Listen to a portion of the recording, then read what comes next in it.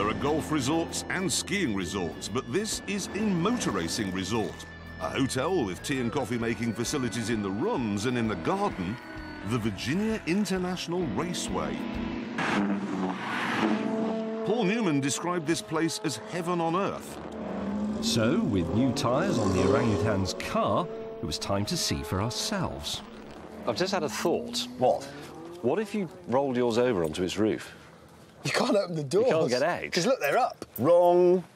Well, how? Because the hinges here have explosive bolts. So if the car's upside down for 10 seconds, it blows the doors off. The door just goes poof and blows off, and then you just step out. So then go, your headless corpse can get out of the car.